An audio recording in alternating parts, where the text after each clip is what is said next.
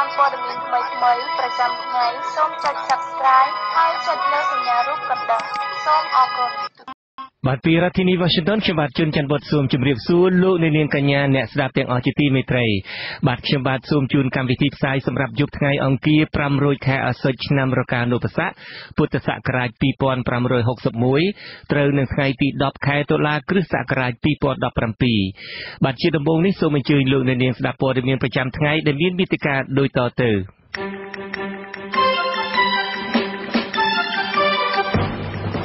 គណៈបកកណ្ដាលអំណាចស្នើធ្វើវិសោធនកម្មច្បាប់ស្ដីពីការជ្រើសតាំងតំណាងរាស្ត្រដើម្បីយកអាសនៈរបស់គណៈបកដែលត្រូវរំលាយចោលឲ្យទៅគណៈបកដទៃទៀត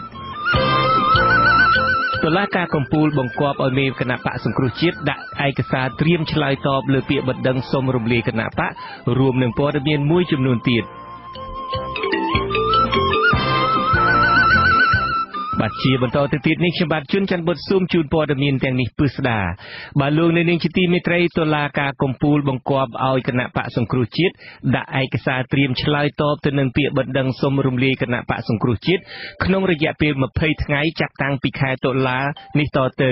រីឯគណៈបកសង្គ្រោះជាតិមិនទាន់បញ្ជាក់ជំហរថានឹងសម្រេចចិត្តយ៉ាងណានៅឡើយទេដែលរងចាំជជែកជាមួយមេធាវីជាមុនសិនលោកមួងណារ៉េតមានសេចក្តីរាយការណ៍អំពីរឿងនេះ បណ្ដឹងសុំរំលាយគណៈបកសង្គ្រោះជាតិពីសំណាក់ក្រសួងមហាផ្ទៃ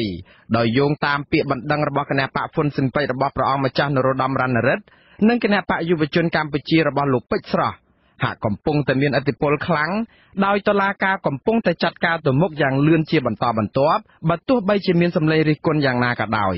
យោងតាមដីកាតឡាការកំពូលដែលអាស៊ីសេរីទទួលបាននៅថ្ងៃទី10ខែតុលានេះ គឺចៅក្រមទទួលបញ្ជារបស់ក្រុមប្រឹក្សាជំនុំជម្រះនៃតុលាការកំពូល លោកស្រីសែមសាកូឡាបានចេញដីកាបង្គាប់ទៅប្រធានគណៈបកសង្គ្រោះជាតិ ឲ្យដាក់ឯកសារត្រៀមឆ្លើយតបទៅនឹងពាក្យបណ្ដឹងសុំរំលាយគណៈបកសង្គ្រោះជាតិក្នុងអំឡុងពេល20ថ្ងៃគិតចាប់ពីថ្ងៃទី9ខែតុលាឆ្លើយតបចំពោះបញ្ហានេះប្រធានក្រុមសមាជិកសភាគណៈបកសង្គ្រោះជាតិលោកសុនឆៃបានថ្លែងប្រាប់អ្នកសារព័ត៌មានបន្ទាប់ពីកិច្ចប្រជុំការងារនឹងគណៈកម្មាធិការប្រតិបត្តិ25រាជធានីខេត្តនៅឯទីស្នាក់ការគណៈបកនៅថ្ងៃទី10ខែតុលានេះ ថាគណៈបកបានទទួលដីកាបង្គាប់នេះហើយក៏ប៉ុន្តែនៅមិនទាន់សម្រេចយ៉ាងណានៅឡើយទេលោកសុនឆៃបន្តថាគណៈបកនឹងជួបប្រជុំជាមួយនឹងក្រុមមេធាវីជាមុនសិនការងារនេះត្រូវតែទទួលជាមួយក្រុមមេធាវីតើចេតនាត្រូវធ្វើបែបម៉េចដូចយើងហ្នឹងហើយទៅទៅសាលាកម្ពុជានេះវាជាជាទីមិនធម្មតាទេ លោកសុនឆៃក៏បានបង្ហើបថាមានស្ថានទូតមួយចំនួន បានប្រាប់ថាគណៈបកប្រជាជនកម្ពុជា បានធានាជាមួយនឹងស្ថានទូតទាំងនោះ ថាទោះបីជាយ៉ាងណាក៏ដោយក៏មិនរំលាយគណៈបកសង្គ្រោះជាតិចោលនោះដែរទន្ទឹមគ្នានេះគណៈបកសង្គ្រោះជាតិនៅតែព្យាយាមរកច្រកចរចាជាមួយនឹងគណៈបកកណ្ដាលអំណាចដើម្បីសម្រួលឲ្យស្ថានភាពនយោបាយវិលទៅរកភាពប្រក្រតីដើម្បីផលប្រយោជន៍ជាតិនិងប្រជាជនកម្ពុជា កាលពីថ្ងៃទី6ខែតុលាមេធាវីមួយក្រុមរបស់ក្រសួងមហាផ្ទៃចំនួន5នាក់បានដាក់ពាក្យប្តឹងទៅតុលាការកំពូលសូមរំលាយគណៈបកសង្គ្រោះជាតិពីបទខុបខិតនឹងបរទេសដើម្បីរំលាយរដ្ឋាភិបាលកម្ពុជាលោកសុនឆៃបញ្ជាក់ថាគណៈបកបានជ្រើសរើសមេធាវីចំនួន7រូបដើម្បីការពារក្តីនៅក្នុងបណ្ដឹងរបស់ក្រសួងមហាផ្ទៃដែលសូមរំលាយគណៈបកប្រឆាំងនេះ ចំណាត់ការដែលអត់បង្អន់ដៃមកលើគណៈបកប្រឆាំងតែមួយគត់ដែលមាន55អាសនៈនៅក្នុងរដ្ឋសភានិងមានអ្នកបោះឆ្នោតគ្រប់គ្រងរហូតដល់ជាង3លានអ្នកនៅគៀកចិត្តការបោះឆ្នោតដូចនេះធ្វើឲ្យមជ្ឈដ្ឋានជាតិនិងអន្តរជាតិថ្កោលទោសរដ្ឋាភិបាលកម្ពុជាយ៉ាងខ្លាំងក្លាដែលមិនធ្លាប់មានសហភាពអឺរ៉ុបបានចេញសេចក្តីថ្លែងការណ៍មួយកាលពីថ្ងៃទី9ខែតុលាម្សិលមិញនេះដោយសម្ដែងក្តីព្រួយបារម្ភយ៉ាងខ្លាំងទៅនឹងការប៉ុនប៉ងរំលាយគណៈបកប្រឆាំងមួយនេះសេចក្តីថ្លែងការណ៍ដដែលនេះ លើកឡើងថាការព្យាយាមលុបបំបាត់គណៈបកនយោបាយមួយដែលទទួលបានសម្លេងគាំទ្រពីពលរដ្ឋកម្ពុជាជាង40%នៅក្នុងការបោះឆ្នោតឃុំសង្កាត់នាពេលថ្មីៗបែបនេះគឺជាការវាយប្រហារដ៏សន្ធប់មួយទៅលើដំណើរការប្រជាធិបតេយ្យនៅក្នុងប្រទេសកម្ពុជានិងធ្វើឲ្យប៉ះពាល់ដល់សេចក្តីទុកចិត្តលើដំណើរការបោះឆ្នោតនាពេលបច្ចុប្បន្នសហភាពអឺរ៉ុបដែលមានប្រទេស28ជាសមាជិកនេះបានស្នើឲ្យរដ្ឋាភិបាលកម្ពុជាពិចារណាឡើងវិញលើករណីនេះ។ ចំណែកឯអង្គការឃ្លាំមើលពិភពលោក Global Witness និងអង្គការឃ្លាំមើលសិទ្ធិមនុស្សអន្តរជាតិ Human Rights Watch ក៏បានចេញសេចក្តីថ្លែងការណ៍ថ្កោលទោសរដ្ឋាភិបាលកម្ពុជាភ្លាមៗក្រោយពីក្រសួងមហាផ្ទៃដាក់ពាក្យប្តឹងសុំរំលាយគណៈបកសង្គ្រោះជាតិចោល អង្គការទាំងពីរនេះថែមទាំងស្នើឲ្យអន្តរជាតិដាក់ទណ្ឌកម្មកម្ពុជាដោយសារតែរដ្ឋាភិបាលលោកហ៊ុនសែនកំពុងតែប៉ុនប៉ងរំលាយគណៈបកប្រឆាំងមន្ត្រីផ្នែកយុទ្ធនាការរបស់អង្គការឃ្លាំមើលពិភពលោកអ្នកស្រី Emma Burnett បានមានប្រសាសន៍នៅក្នុងសេចក្តីថ្លែងការណ៍កាលពីថ្ងៃទី6ថាក្រុមអ្នកមានអំណាចនិងមានទ្រព្យដែលជាជនពុករលួយមួយក្តាប់តូចរយៈពេលចុងក្រោយនេះកំពុងតែប៉ុនប៉ងរំលាយគណៈបកប្រឆាំងនៅកម្ពុជា ដើម្បីបន្តក្រាញអំណាចនិងរក្សាទ្រព្យសម្បត្តិដែលធ្វើឲ្យប្រជាពលរដ្ឋរងទុក្ខទូទាំងប្រទេសស្របពេលនេះដែរលោក Phil Robertson នៃអង្គការឃ្លាំមើលសិទ្ធិមនុស្សអន្តរជាតិចាត់ទុកចំណាត់ការនេះថាជារដ្ឋប្រហាររបស់បរិះខ្លាំងលោកហ៊ុនសែន ចំណែកឯសមាជិកព្រឹទ្ធសភាអាមេរិកក៏មិននៅស្ងៀមនៅក្នុងរឿងនេះដែរលោក John McCain មកពីខាងគណៈបកសាធារណរដ្ឋនិងលោក Dick Burden មកពីខាងគណៈបកប្រជាធិបតេយ្យបានរួមគ្នាស្នើឲ្យសភាអាមេរិកសម្រេចថ្កោលទោសរាល់ទម្រង់នៃការរំលោភបំពានផ្នែកនយោបាយនិងទាមទារឲ្យដោះលែងប្រធានគណៈបកសង្គ្រោះជាតិលោកកម្មសខាជាបន្ទាន់និងឥតលក្ខខណ្ឌ សេចក្តីសម្រេចដែលមានកម្រាស់8ទំព័រត្រូវបានសមាជិកព្រឹទ្ធសភាទាំងពីររូបដាក់ជូននៅក្នុងកិច្ចប្រជុំសភាពេញអង្គលើកទី115កាលពីថ្ងៃទី3ខែតុលាកន្លងទៅនេះដោយផ្ដោតសំខាន់លើ8ចំណុច ក្នុងនោះក៏រួមមានការទៀមទាឲ្យលោកនាយរដ្ឋមន្ត្រីហ៊ុនសែននិងគណៈបកប្រជាជនកម្ពុជាបញ្ឈប់ការធ្វើទុកបុកម្នេញនិងការគំរាមកំហែងមកលើគណៈបកប្រឆាំងហើយស្នើឲ្យបង្កបរិយាកាសឲ្យមានលក្ខណៈអំណោយផលល្អដល់ការរីកលូតលាស់នៃដំណើរការប្រជាធិបតេយ្យនៅកម្ពុជានិងទៀមទាឲ្យដោះលែងលោកកម្មសខាជាបន្ទាន់ដោយឥតលក្ខខណ្ឌហើយជាពិសេសទៀតនោះគឺទៀមទាឲ្យក្រសួងការបរទេសសហរដ្ឋអាមេរិកសហការជាមួយនឹងការិយាល័យត្រួតពិនិត្យទ្រព្យសម្បត្តិបរទេសនៃនាយកដ្ឋានរដ្ឋាភិបាល ពិចារណាដាក់មន្ត្រីរដ្ឋាភិបាលកម្ពុជាទាំងឡាយណា ដែលជាប់ពាក់ព័ន្ធទៅនឹងការរំលោភបំពានខាងលើឲ្យចូលទៅក្នុងបញ្ជីខ្មៅនៃជនដែលគ្រោះថ្នាក់ត្រូវបង្កកទ្រព្យសម្បត្តិនិងហាមឃាត់មិនឲ្យចូលទឹកដីអាមេរិកជាដើម។ ខ្ញុំបាទមួងណារ៉េតអាស៊ីសេរីរដ្ឋធានី Washington បាទតកតងទៅនឹងការប៉ុនប៉ងរំលាយគណៈបកសង្គ្រោះជាតិឬក៏ជាសកម្មភាពមួយដែលអ្នកតាមដាននយោបាយនៅប្រទេសកម្ពុជាថាជាអំពើរដ្ឋប្រហារពីសំណាក់គណៈបកប្រជាជនកម្ពុជារបស់លោកនាយករដ្ឋមន្ត្រីហ៊ុនសែននេះលោកសុនឆៃប្រាប់ក្រុមអ្នកសារព័ត៌មានថាគណៈបកប្រឆាំងមិនបានរឹងទទឹងឬជំនះនឹងច្បាប់នោះទេ ចំពោះការដោះដូរតំណែងប្រធានគណៈបកប្រឆាំងក៏ប៉ុន្តែលោកថាគេមិនត្រូវសន្និដ្ឋានថាលោកកឹមសុខា មានទោសមុនពេលដែលតុលាការសម្រេចក្តីនោះឡើយបាទសូមអញ្ជើញលោកអ្នកនាងស្ដាប់សេចក្តីរាយការណ៍អំពីរឿងនេះពីរដ្ឋធានី Washington ដោយលោកជាតិចំណានការប្រកាសរបស់មន្ត្រីជាន់ខ្ពស់គណៈបកប្រឆាំងនេះធ្វើឡើងក្រោយពេលដែលគណៈបកសង្គ្រោះជាតិបានប្រជុំជាមួយថ្នាក់ដឹកនាំគណៈបកនៅតាមបណ្ដាខេត្តរាជធានីនៅទីស្នាក់ការគណៈបកប្រឆាំងក្នុងសង្កាត់ចាក់អង្រែលើរាជធានីភ្នំពេញនៅព្រឹកថ្ងៃទី10ខែតុលាលោកសុនឆៃប្រាប់ក្រុមអ្នកសារព័ត៌មានថា បកប្រឆាំងមិនដែលរឹងទទឹងក្នុងការផ្លាស់ប្តូរតំណែងរបស់ប្រធានគណៈបកនោះទេ ដោយករណីផ្លាស់ប្តូរលោកសំរងស៊ី អតីតប្រធានគណៈបកសង្គ្រោះជាតិដែរយើងមិនរឹងទទឹងទេគឺយើងឃើញករណីអាយដាមសំរងស៊ីទៅពេលដែលបាប់ដែលគណៈបកដែលត្រូវបានអនុម័តហើយដោយគណៈបកប្រជាជននឹងដើម្បី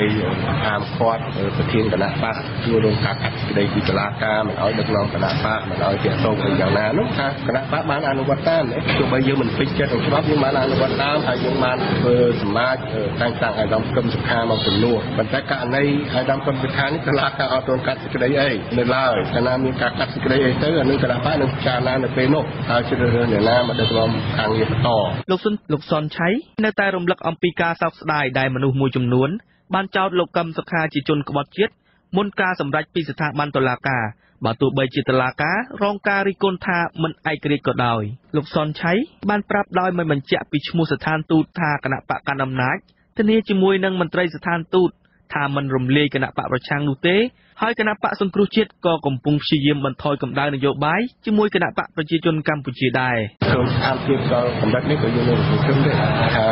ទោះបីជាយ៉ាងណាក៏ដោយ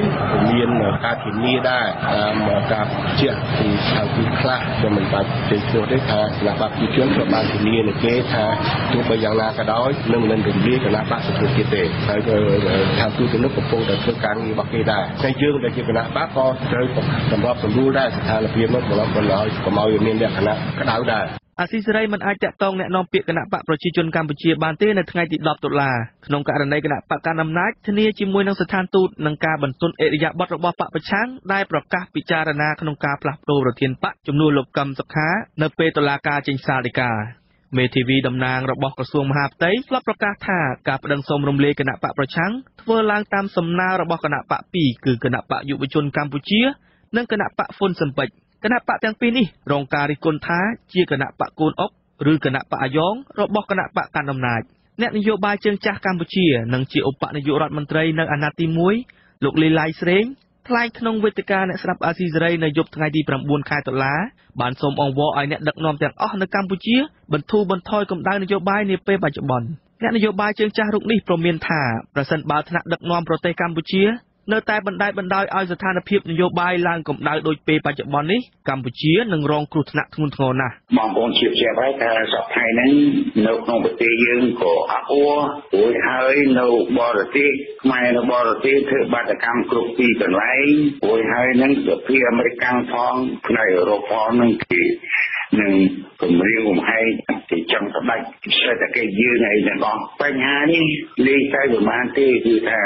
ធ្ងន់ធ្ងរណាស់ លោកសុនឆៃអះអាងថាគណៈបកសង្គ្រោះជាតិមិនចង់ឃើញសហគមន៍អន្តរជាតិណាមួយដាក់គំនាបសេដ្ឋកិច្ចមកកម្ពុជានោះទេស្របពេលដែលប្រទេសកម្ពុជាកំពុងស្ថិតក្នុងដំណាក់កាលអភិវឌ្ឍសម្រាប់គណៈបកប្រឆាំងលោកសុនឆៃប្រកាសថានៅតែសង្ឃឹមនឹងខិតខំឲ្យមានច្រកសម្រាប់ចរចាជាមួយបកកាន់អំណាចដើម្បីបន្ថយកម្ដៅនយោបាយលោកថាតំណែងជាតំណាងរាស្ត្រឬគណៈបកប្រឆាំងមិនសំខាន់នោះទេ ប៉ុន្តែការរំលាយគណៈបកសង្គ្រោះជាតិគឺជាការប្រឆាំងឆន្ទៈរបស់ពលរដ្ឋខ្មែរដែលបានបោះឆ្នោតឲ្យគណៈបកសង្គ្រោះជាតិលោកសុនឆៃព្រួយបារម្ភពីពលរដ្ឋដែលបែកបាក់គ្នានិងការមិនសុខចិត្តរបស់ពលរដ្ឋនៅពេលរំលាយគណៈបកប្រឆាំងខ្ញុំបាទជាចំណានអាស៊ីសេរី Washington បាទលោកនាងជាទីមេត្រីថ្ងៃ11ខែតុលាស្អែកនេះគឺជាថ្ងៃកំណត់របស់តុលាការរាជធានីភ្នំពេញដែលបានកោះហៅព្រះតេជគុណបុត្រប៊ុនតេងឲ្យចូលព្រះកាយឆ្លើយបំភ្លឺករណីបណ្ដឹងរបស់ប្រធានគណៈបកយុវជនកម្ពុជាលោកពេជ្រស្រស់ពាក់ព័ន្ធនឹងការគ្រប់គ្រងបច្ច័យបុណ្យសពលោកបណ្ឌិតកែមលី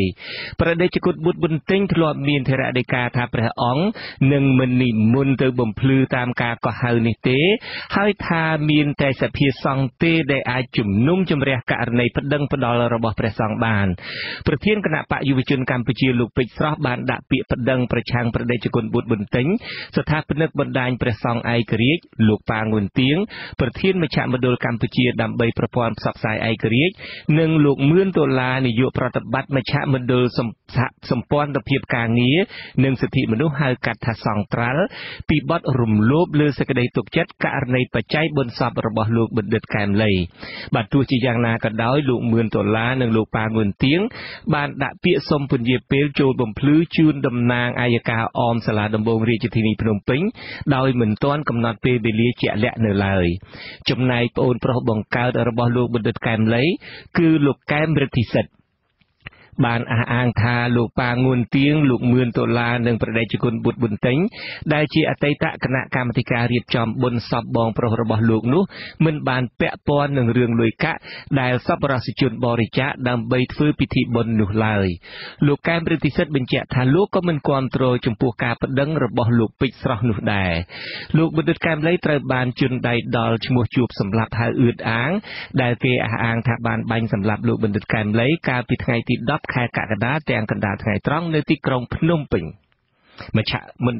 មជ្ឈដ្ឋានជាតិនិងអន្តរជាតិវាយតម្លៃថាសមត្ថកិច្ចនៅមិនទាន់ស្វែងរកយុត្តិធម៌ពិតប្រាកដ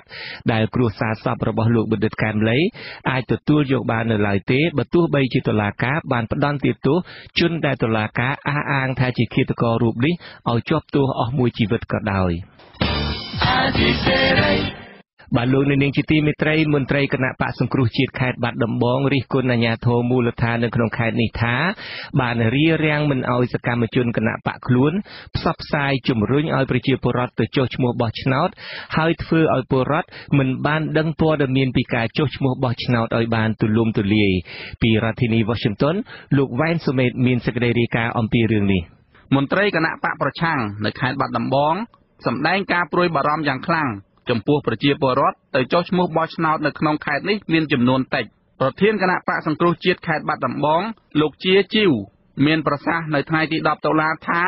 មូលហេតុដែលប្រជាពលរដ្ឋនៅខេត្តមួយនេះទៅចុះឈ្មោះបោះឆ្នោតតិចដោយអាជ្ញាធរមិនបានផ្សព្វផ្សាយជំរុញឲ្យពលរដ្ឋទៅចុះឈ្មោះបោះឆ្នោតឲ្យបានទូលំទូលាយលោកបន្ថែមទៀតថាកន្លងមក មន្ត្រីឃុំសង្កាត់គណៈបកសង្គ្រោះជាតិបានព្យាយាមចុះផ្សព្វផ្សាយដំណឹងជំរុញឲ្យពលរដ្ឋទៅចុះឈ្មោះបោះឆ្នោតដែរក៏ប៉ុន្តែអាជ្ញាធរនៅតាមមូលដ្ឋានបានហាមឃាត់មិនឲ្យពួកគាត់ធ្វើយុទ្ធនាការនេះជូនដំណឹងទៅប្រជាពលរដ្ឋឡើយ។ទី2ពលរដ្ឋធ្វើការចំណាក់ស្រុកហើយរួមផ្សំជាមួយនឹងការធ្វើនីតិវិធីនៃការចុះឈ្មោះបោះឆ្នោតវាលំបាកពីមុនប្រជាពលរដ្ឋគាត់គ្រាន់តែអញ្ជើញមកឃុំសង្កាត់ ដោយការស្នាក់នៅបដោះអាសន្នឬទីសំណាក់គាត់អាចមានការបញ្ជាក់ពីមេឃុំដើម្បីចុះឈ្មោះបោះឆ្នោតបានប៉ុន្តែនៅពេលនេះនីតិវិធីត្រូវតម្រូវទៅ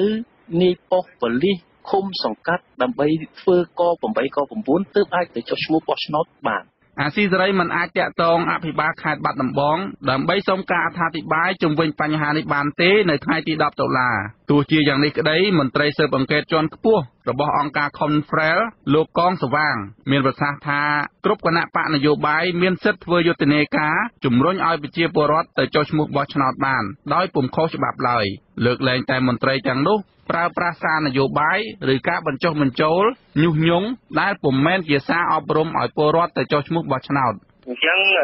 បើយើងមើលករណីនេះបើសិនជាក្នុង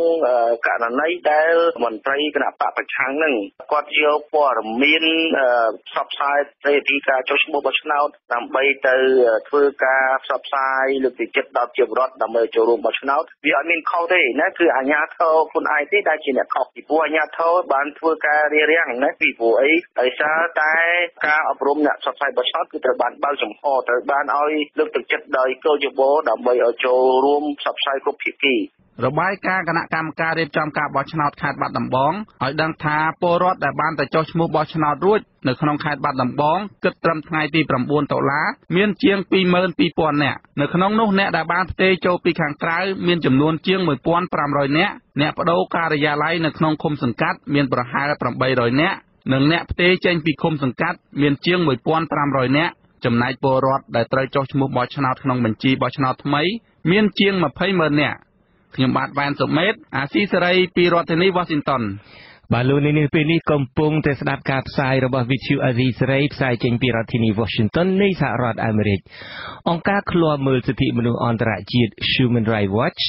ថាការដែលរដ្ឋាភិបាលកម្ពុជា ដាក់បណ្ដឹងផ្លូវច្បាប់សុំរំលាយគណៈបកសង្គ្រោះជាតិនិងធ្វើការបោះឆ្នោតជាតិនៅខែកក្កដាឆ្នាំ2018ខាងមុខនេះនឹងមិនមានលក្ខណៈប្រជាធិបតេយ្យឡើយអង្គការនេះជំរុញឲ្យប្រទេសម្ចាស់ជំនួយនិងសហគមន៍អន្តរជាតិចាត់វិធានការជាបន្ទាន់ដើម្បីទប់ស្កាត់នៅដំណើរវិវត្តផ្នែកនយោបាយចុងក្រោយនេះតាមរយៈការពិចារណាដាក់គំនាបការទូតនិងទណ្ឌកម្មផ្នែកសេដ្ឋកិច្ចមន្ត្រីជាន់ខ្ពស់និងជាអ្នកនាំពាក្យគណៈបកកណ្ដាលអំណាចអះអាងថានេះជាការចោទប្រកាន់ដែលមានលក្ខណៈលំអៀងផ្នែកនយោបាយទៅវិញលោកមានរិទ្ធមានសេចក្តីរាយការណ៍អំពីរឿងនេះពីរដ្ឋធានី Washington អង្គការឃ្លាំមើលសិទ្ធិមនុស្សអន្តរជាតិ Human Rights Watch លើកឡើងថា ប្រសិនបើតឡាការកំពូលដែលគ្រប់គ្រងដោយរដ្ឋាភិបាលសម្រាប់ចេញសារដីការំលាយគណៈបកសង្គ្រោះជាតិមែននោះនេះមានន័យស្មើនឹងការបដិសេធចោលទាំងស្រុងនៃការផ្ដល់សិទ្ធិជាមូលដ្ឋានដល់ប្រជាពលរដ្ឋកម្ពុជាក្នុងការសម្រេចចិត្តជ្រើសរើសរដ្ឋាភិបាលតាមឆន្ទៈរបស់ពួកគេនាយកផ្នែកច្បាប់និងគោលនយោបាយរបស់អង្គការឃ្លាំមើលសិទ្ធិមនុស្សអន្តរជាតិលោក James Ross ថា បណ្ដឹងរបស់រដ្ឋាភិបាលដើម្បីរំលាយគណៈបកប្រឆាំងធំជាងគេនៅកម្ពុជាឲ្យបានមុនការបោះឆ្នោតជាតិឆ្នាំ2018មកដល់នេះគឺជាការច្បាមយកអំណាចទាំងស្រុងដោយកំរោលនិងដោយឥតអៀនខ្មាស់តែម្ដងនាយកផ្នែកច្បាប់និងគោលនយោបាយរបស់អង្គការឃ្លាំមើលសិទ្ធិមនុស្សអន្តរជាតិរូបនេះបានជំរុញឲ្យរដ្ឋាភិបាលនៃប្រទេសនានានៅលើពិភពលោកដែលបន្តទទូចឲ្យប្រទេសកម្ពុជាត្រូវតែមានការដឹកនាំតាមបែបប្រជាធិបតេយ្យគួរចាត់វិធានការដើម្បីបង្អាក់ដំណើរវិវត្តន៍នេះបើមិនដូច្នោះទេ រដ្ឋាភិបាលនៃប្រទេសទាំងនេះនឹងទទួលរងនឹងការចាត់ប្រកាន់ថាបានចូលរួមចំណែកក្នុងការធ្វើឲ្យរលាយសាបសូន្យនៃលទ្ធិប្រជាធិបតេយ្យធ្លាក់ចូលទៅក្នុងរបបគ្រប់គ្រងតាមបែបផ្ដាច់ការទាំងស្រុងរបស់លោកហ៊ុនសែនតែម្ដងសេចក្តីថ្លែងការណ៍របស់អង្គការឃ្លាំមើលសិទ្ធិមនុស្សចេញផ្សាយថ្ងៃទី10ខែតុលានេះលើកឡើងថាចំណាត់ការបច្ចុប្បន្ន ទំនងជាធ្វើឡើងដោយសារតែគណៈបកកណ្ដាលអំណាចគឺគណៈបកប្រជាជនកម្ពុជា ហាក់ព្រួយបារម្ភអំពីការមិនអាចដណ្ដើមយកជ័យជំនះបានក្នុងការបោះឆ្នោតជាតិថ្ងៃទី29ខែកក្កដាឆ្នាំ2018ខាងមុខនេះដោយសារតែគណៈបកសង្គ្រោះជាតិទទួលបានលទ្ធផលយ៉ាងត្រចះត្រចង់ផ្ទួនទួនទាំងក្នុងការបោះឆ្នោតជាតិឆ្នាំ2013និងការបោះឆ្នោតឃុំសង្កាត់ខែមិថុនាឆ្នាំ2017នាពេលកន្លងទៅនេះ។ អ្នកនាំពាក្យគណៈបកកណ្ដាលអំណាចលោកសុកអេសានបដិសេធការលើកឡើងរបស់មន្ត្រីអង្គការឃ្លាំមើលសិទ្ធិមនុស្សអន្តរជាតិពីខាងលើនេះថាមិនមែនជាការពិតហើយថាជាការលំអៀងនិងមានបូរេនិច្ឆ័យផ្នែកនយោបាយដោយសារតែអង្គការនេះតែងតែកាន់ជើងគណៈបកប្រឆាំងតាំងពីដើមមកលោកថារដ្ឋាភិបាលពុំមានជំរឿសអ្វីក្រៅពីដើរតាមគន្លងលទ្ធិប្រជាធិបតេយ្យនិងនីតិរដ្ឋឡើយ ពីព្រោះថាករណីសំណុំរឿងក្បត់ជាតិរបស់គណៈបកសង្គ្រោះជាតិនេះមិនមែនគណៈបកប្រជាជនកម្ពុជា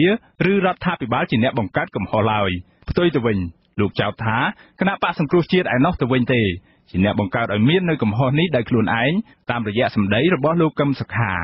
សេចក្តីថ្លែងការណ៍របស់អង្គការឃ្លាំមើលសិទ្ធិមនុស្សអន្តរជាតិដដែលនេះបញ្ជាក់ថាសហគមន៍អន្តរជាតិ បានដើរតួនាទីយ៉ាងសំខាន់ក្នុងការគ្រប់គ្រងឲ្យប្រទេសកម្ពុជាសម្រេចបាននូវសន្ធិសញ្ញាក្រុងប៉ារីសឆ្នាំ1991ក្រោយពេលដែលមានការដួលរលំទៅនៃរបបបល្ល័យពូជសាសន៍ខ្មែរក្រហមដែលបានកាន់អំណាចពីឆ្នាំ1975ដល់ឆ្នាំ1979បន្តដោយការគ្រប់គ្រងពីសំណាក់ប្រទេសវៀតណាមនិងសង្គ្រាមស៊ីវិលភាគីហត្ថលេខីនៃកិច្ចព្រមព្រៀងនេះរួមមានទាំងលោកហ៊ុនសែនខ្លួនឯងផងដែរនោះបានយល់ព្រមដើម្បីធានាឲ្យមាននឹងការគោរព និងប្រតិបត្តិតាមគោលការណ៍សិទ្ធិមនុស្សនិងសេរីភាពជាមូលដ្ឋានយ៉ាងពេញលេញក្នុងប្រទេសកម្ពុជា និងផ្ដល់ការគ្រប់គ្រងនៅសិទ្ធិរបស់ពលរដ្ឋកម្ពុជាគ្រប់រូបក្នុងការចូលរួមក្នុងសកម្មភាពដើម្បីលើកកម្ពស់និងការពារសិទ្ធិមនុស្សនិងសេរីភាពជាមូលដ្ឋានទាំងនេះ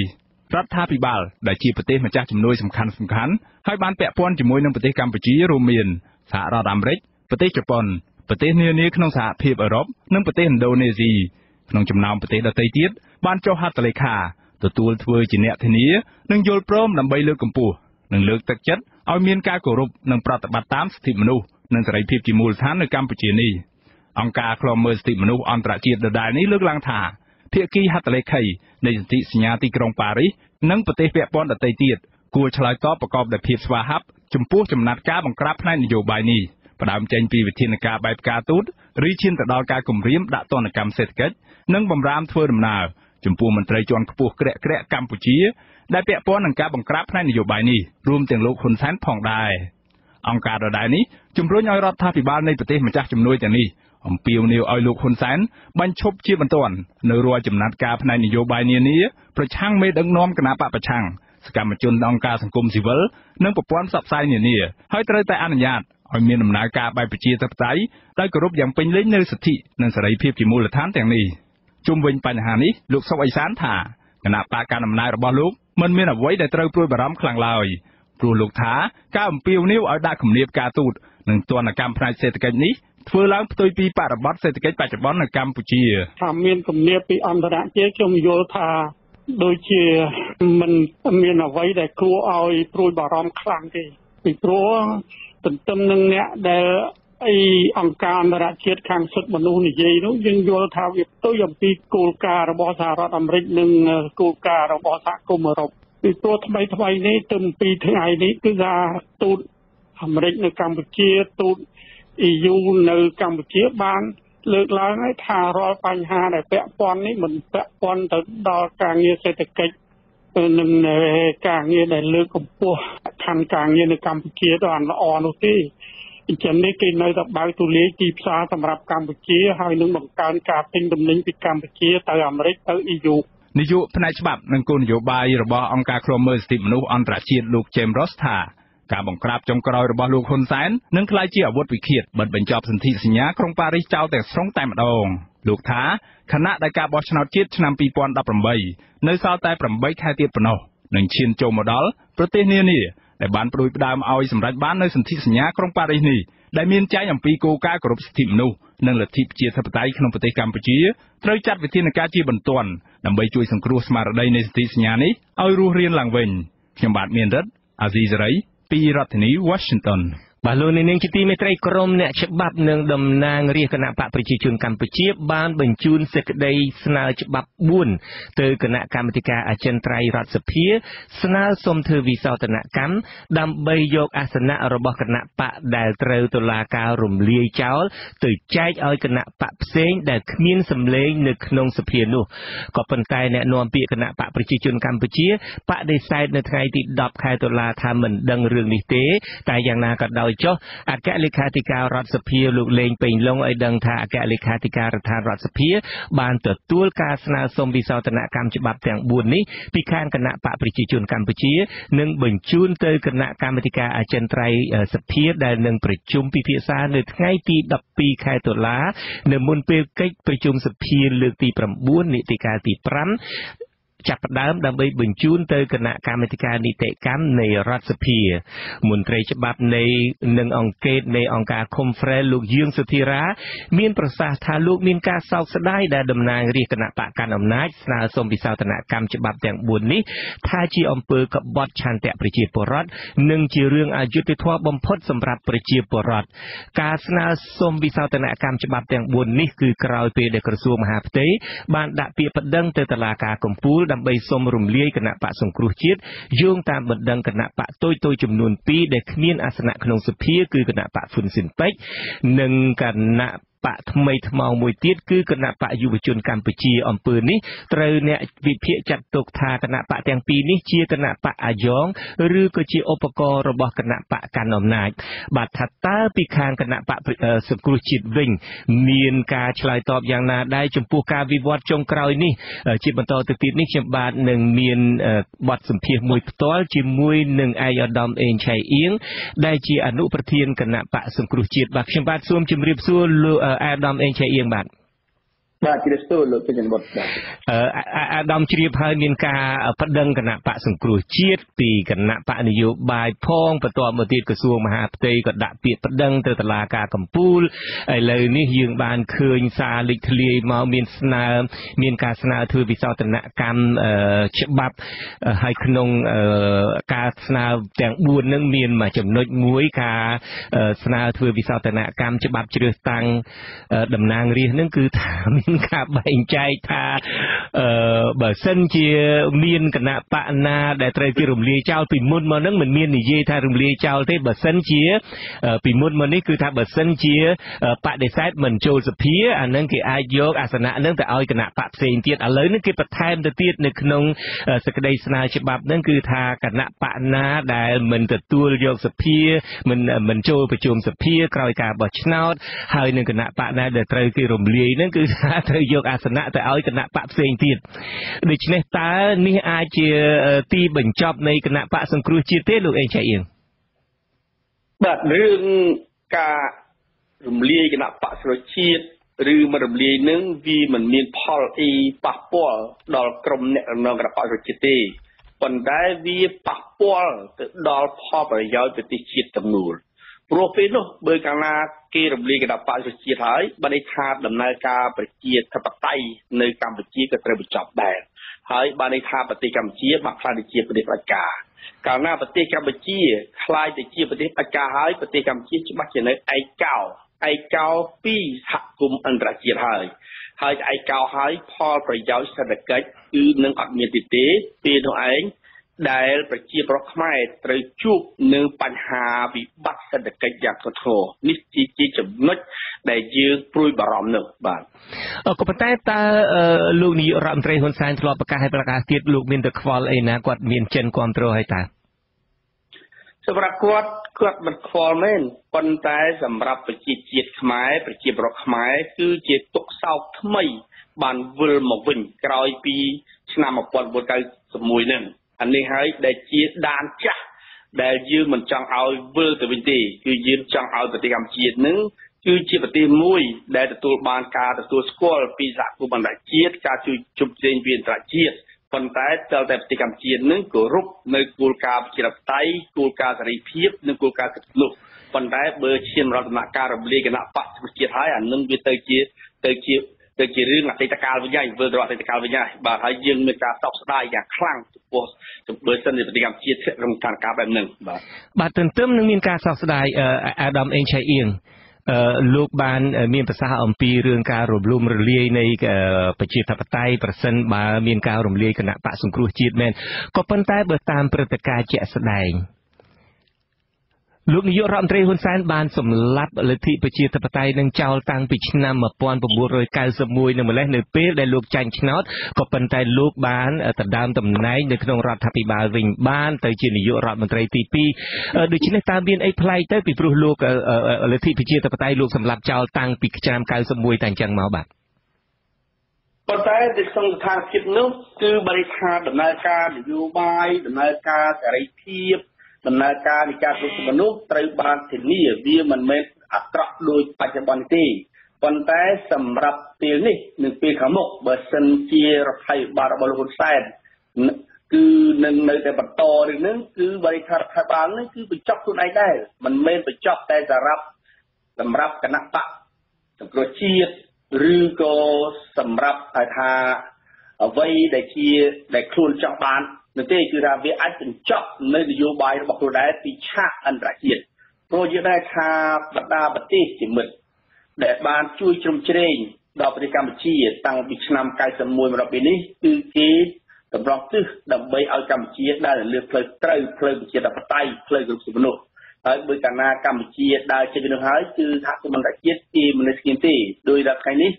គឺគេកាត់តែគម្រាមគម្រាមនឹងគឺគេមិនចង់ឲ្យកម្ពុជាធ្លាក់ទៅក្នុងផ្លូវអាក្រក់ទៀតប៉ុន្តែបើកាលណាកម្ពុជាធ្លាក់ទៅក្នុងផ្លូវបច្ចាហើយអានឹងអាការគម្រាមរបស់គេនៅខ្លះនិយាយការពិតហើយ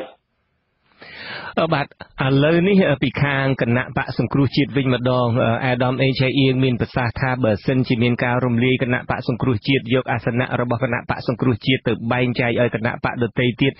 តាមដែលគម្រោងធ្វើវិសោធនកម្មច្បាប់ស្ដីពីការជ្រើសតាំងតំណាងរាស្ត្រវិញនេះគឺធ្វើឲ្យប្រជាធិបតេយ្យនៅកម្ពុជារលាយធ្វើឲ្យមានវិបត្តិសេដ្ឋកិច្ចយ៉ាងធ្ងន់ធ្ងរនៅប្រទេសកម្ពុជាអីជាដើមហើយចុះតើពីខាងគណៈបកសង្គ្រោះជាតិក្រៅតែពីជាជនរងគ្រោះនេះអាចធ្វើជាអ្នកដែលសង្គ្រោះវាសនាប្រទេសជាតិបានទេហើយតើធ្វើបែបណាដើម្បីអាចជួយទប់ទល់ស្ថានភាពនេះបានព្រោះបច្ចុប្បន្ននេះគឺផ្លូវដែលយើងកំពុងដើរមានតែមួយគត់គឺការតស៊ូមតិតាមរយៈការទូតតែប្រទេសដោយឡែកសម្រាប់ការតស៊ូមតិនៅក្នុងប្រទេសគឺយើងលំបាកនឹងធ្វើដោយសារអ្វីអ្វីទាំងអស់ គឺស្ថិតនៅលើគណៈបកកណ្ដាលអំណាចដែលគេអាចប្រើប្រាស់ប្រព័ន្ធតុលាការគេប្រើប្រាស់ប្រព័ន្ធកងប្រាប់អាវុធដើម្បីធ្វើទុកបុកម្នេញបង្ក្រាបនៅអ្នកណាដែលហ៊ានផ្សេងមតិដូច្នេះហើយយើងមានតែប្រឹងប្រែងតាមរយៈនយោបាយការទូតជាមួយនឹងបណ្ដាប្រទេសជាមិត្តទេដើម្បីឲ្យដាស់គេឲ្យភ្ញាក់ហើយឲ្យភ្ញាក់ហើយឲ្យគេជួយប្រទេសកម្ពុជាគឺមិនត្រូវឲ្យគេបោះបង់ប្រទេសកម្ពុជានៅចោលនៅពាក់កណ្ដាលទីទេបាទបាទ អរគុណអាដាមអេងឆៃអៀងមានមតិរិះគន់មួយចំនួនថានៅពេលដែលគណៈបកសង្គ្រោះជាតិកំពុងតែត្រូវការគម្រាមកំហែងគណៈបកទាំងមូលត្រូវការគម្រាមកំហែងមេគណៈបកកំពុងតែត្រូវគេចាប់ដាក់ពន្ធនាគារតំណាងរាស្ត្រជាងពាក់កណ្ដាលនៃគណៈបកសង្គ្រោះជាតិបានចេញទៅក្រៅប្រទេសអ្នកខ្លះប្រកាសណាស់ចេញទៅដោយខ្លាចគេដកហូតសេរីភាពរបស់ខ្លួនក៏ប៉ុន្តែអ្នកខ្លះទៀតចេញទៅពីព្រោះយកកូនទៅរៀនដែលហេតុថាមានសញ្ជាតិអាមេរិកត្រូវរវល់មើលការខុសត្រូវជាមួយគ្រួសារអីជាដើមតើការរិះគន់ទាំងអស់នេះអាដាមទទួលយកបែបណាដែរហើយតើពិតទេនៅក្នុងចំណោមតំណាងរាជគណៈបកសង្គ្រោះជាតិដែលជាងពាក់កណ្ដាលនៅក្រៅប្រទេសនៅពេលដែលគណៈបកកំពុងតែប្រឈមមុខនឹងការគំរាមកំហែងពីខាងគណៈបកកណ្ដាលអំណាចបាទបាទយើង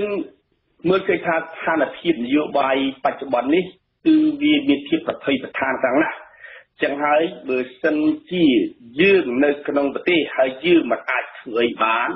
យឺយើងក៏នៅសង្ងំស្ងៀមក៏នៅយយអានឹងដូចយើងក៏នៅលំអឲ្យគេទៅប្រឹងទេដូច្នេះយើងសុចិត្តយកសេរីភាពរបស់យើងមកធ្វើការនៅខាងក្រៅដើម្បីជួយដល់ខាងក្នុងវាប្រសើរជាជាងដែលយើងនៅសង្ងំខាងក្នុងមិនហ៊ានធ្វើអីសោះអានេះឯងដែលជាបញ្ហាដែលយើងត្រូវយល់ទាំងអស់គ្នា យើងនឹងឲ្យថាកាលណាយើងធ្វើសកម្មភាពក្នុងការតស៊ូមតិមួយគឺត្រូវបានការគ្រឿងកំហែងគាត់ផងនៃការចាក់ចងដោយករណីលោកស្រីមូយូហូដែលគាត់បានប្រឹងប្រែងដឹកនាំការតស៊ូមតិមួយប៉ុន្តែត្រូវទទួលបានការគ្រឿងកំហែងគាត់ផងចាក់ខ្លួនភ្លាមៗដូច្នេះគឺយើងមិនអាចស្ថិតនៅក្នុងរស់នៅក្នុងស្ថានភាពមួយដែលអាចធ្វើការទេយើងទៅទៅរស់នៅលើទីតាំងមួយដែលអាចធ្វើសកម្មភាពជួយប្រទេសកម្ពុជាបានបាទ បាទបាទអរគុណលោកអេឆៃអៀងបាទលោកនាងជាទីមេត្រីលោកនាងក៏អាចចូលរួមក្នុងកម្មវិធីយើងនេះបានដោយសរសេរលេខទូរស័ព្ទរបស់លោកនាងមកកាន់ក្រុមការងាររបស់យើងយើងនឹងហៅទៅលោកនាងវិញបាទឥឡូវឆ្លៀតពេលនេះខ្ញុំមានអ្នកហៅចូលម្នាក់មកពីប្រទេសកូរ៉េគឺលោកវិជ្ជរាបាទលោកវិជ្ជរាមានសំណួរអីម្សិលមិញលោកព្យាយាមចូលជាមួយយើងដែរក៏ប៉ុន្តែដាច់ទូរស័ព្ទមានសំណួរសូមជួយដាក់សំណួរបាទបាទជំរាបសួរខ្ញុំឈ្មោះវិជ្ជរានៅកូរ៉េហើយក៏ ជំរាបសួរដល់លោកជុនច័ន្ទបុតក៏ដូចជាអាដាមអេងថៃយើងផងដែរបាទហើយជំរាបសួរលោកវិជ្ជរាទីបន្តទៀតបាទបាទជំរាបសួរលើរេតលោកពូបាទបាទសូមជឿបាទបាទបាទខ្ញុំមានសំណួរមួយគឺថាតើបើសិនជាអឺរដ្ឋាភិបាលរំលាយគណៈបកអឺសង្គ្រោះជាតិមែនតើមានច្បាប់មានច្បាប់ដែលអាចថាចែក អាសនៈដូចថាចែកអឺចំនួនសុភាទៅឲ្យបណ្ដាគណៈបកផ្សេងបានដែរឬទេ តើរដ្ឋធម្មនុញ្ញមានចែងដែរទេបាទវិចារាយើងជួយផ្សាយព័ត៌មានមិញថាមានសេចក្តីស្នើច្បាប់ពីក្រមអ្នកច្បាប់ហើយនិងពីក្រមគណៈបកប្រជាជនកម្ពុជាស្នើទៅសភាដើម្បីឲ្យបន្ថែមមាត្រា1ទៀតទៅលើច្បាប់ដែលមានស្រាប់ហ្នឹងគឺថានឹងបែងចែកអាសនៈរបស់គណៈបកដែលមិនចូលសភាក្រោយការបោះឆ្នោតនិងគណៈបកដែលត្រូវគេរំលាយចោលទៅឲ្យគណៈបកដទៃទៀតហើយច្បាប់នេះអាចនឹងគេពិភាក្សាពេលឆាប់ឆាប់នេះហើយនឹងអាចចូលជាធរមានទន្ទឹមនឹងគ្នានោះក៏ប្រហែលជាមានការរំលាយគណៈបកសង្គ្រោះជាតិចោលតែម្ដងបាទនេះគឺជាចម្លើយទៅលោកវិចារាបាទអរគុណវិចារាឥឡូវនេះសំណួរខ្ញុំទៅកាន់បាទមានអីទៀតដែរវិចារាសូមជើញបាទខ្ញុំចង់សួរមួយទៀតប្រសិនបើអឺឧទាហរណ៍ថារំលាយគណៈបកសង្គ្រោះជាតិចោលហើយបណ្ដាសហគមន៍អឺរ៉ុបឬក៏ សហរដ្ឋអាមេរិកគេកាត់ផ្ដាច់ជំនួយប្រសិនបើរដ្ឋាភិបាលគាត់មិនខ្វល់អំពីការកាត់ជំនួយយើងដឹងហើយថារដ្ឋាភិបាលដូចជាក្រមគូសារបស់សម្ដេចមានលុយរាប់ពាន់វ៉លានអញ្ចឹងគាត់អាចថាចំណាយលុយរបស់គាត់ដើម្បីរយៈពេលមកបោះឆ្នោតនឹងតើវាអាចកើតឡើងបានដែរឬទេបាទ អានឹងអ្នកណាអាចឆ្លើយបានលោកអេងឆៃអៀងអាចឆ្លើយបានទេបើគេកាត់ជំនួយគាត់ឮសូរថាកាសែត Liberation ពីម្សិលមិញឆ្លើយថាចុះផ្សាយថាមិនមែនមានត្រឹម250លានដោយគេប៉ាន់ស្មានជាផ្លូវការនោះទេក្រៅផ្លូវការប្រហែលជាអាចដល់រាប់ពាន់លានដុល្លារនោះសំណួររបស់វិចារាតើលោកហ៊ុនសែនអាចយកលុយនឹងទៅប្រើប្រាស់សិនទិញទឹកចិត្តរៀបចំការបោះឆ្នោតនឹងឲ្យដើម្បីបានឈ្នះសិនបានទេលោកអាចប៉ាន់ស្មានត្រូវទេលោកអេងឆៃអៀង បាទលុយឯកជនมันអាចយកមកត្រួតត្រងដំណើរការរដ្ឋបានទេបាទលុយឯកជននឹងគឺអាចត្រឹមដោះស្រាយក្នុងគ្រាខ្លីៗបានប៉ុន្តែសម្រាប់ត្រួតត្រងដំណើរការប្រទេសជាតិទាំងមូលរដ្ឋទាំងមូលគឺទៅមិនរួចទេហើយចំណុចទាំងនេះខ្ញុំចង់បញ្ជាក់ដែរថាកុំនិយាយថារដ្ឋាភិបាលអាងចិនអាងអីចឹងព្រោះយើងដឹងថាចិនដែលវិនិយោគមកវិនិយោគច្រើននៅប្រទេសកម្ពុជានៅក្នុងវិស័យ វិជ្ជាភ័ណ្ឌនឹងគឺអាស្រ័យទៅតាមទីផ្សារអឺរ៉ុបទីផ្សារអឺរ៉ុបនិងទីផ្សារអាមេរិកបើកាលណាអឺរ៉ុបបិទទីផ្សារអាមេរិកបិទទីផ្សារដូច្នេះអាវិស័យកាត់ដេរនឹងក៏វាអត់មានផលសម្រាប់ឲ្យចិនមកវិនិយោគដែរអញ្ចឹងបានយើងមានជំនឿថាកាលណាបើសហគមន៍អន្តរជាតិនានាគឺថាមានការដាក់ទណ្ឌកម្មទៅលើរដ្ឋាភិបាលក្រុងភ្នំពេញហើយនឹង ប្រទេសចិនក៏មិនអាចទៅជួយទៅទៅចូលរួមជួយនៅរដ្ឋាភិបាលមួយដែលឯកោនោះដែរបាទ អូខេអឺលោកអេងឆៃអៀងសំណួររបស់ខ្ញុំប្រហែលជាសំណួរចុងក្រោយហើយពីព្រោះខ្ញុំនៅមានវាគ្មិនមួយរូបទៀតបន្ទាប់ពីលោកទៅនេះ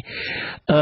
នៅពេលដែលគណៈបកសង្គ្រោះជាតិសម្រាប់ចិត្តថាចូលសភាអឺបន្ទាប់ពីមានការតវ៉ាហើយទីបំផុតនឹងក៏រកដំណោះស្រាយបានថាចូលសភានឹងយើងឮពីគណៈបកសង្គ្រោះជាតិថាចូលទៅរួមខ្លានេះដើម្បីចាប់ខ្លាដូច្នេះពេលនោះឯងប្រហែលជាមិនគិតថាចូលសភានេះដើម្បីថ្ងៃមុខទៅត្រូវគេរំលាយខ្លួនចោលទេអឺមកដល់ពេលនេះងាកក្រោយឡើងវិញស្ដាយក្រោយទេការដែលនាំគ្នាចូលសភាយើងអត់ស្ដាយទេព្រោះពេលដែលយើងសម្រេចចិត្តក្នុងការចូលសភានៅក្នុងកំឡុងឆ្នាំ2014នឹងគឺក្នុងគោលបំណងតែមួយគត់ដែលយើងទៅកែគណៈកម្មការជាតិទីចំការបោះឆ្នោតយើងទៅដូរទៅដូរអាជ្ញាធរបោះឆ្នោតហើយពីនោះបានយើងទៅចូលទៅកែរដ្ឋធម្មនុញ្ញ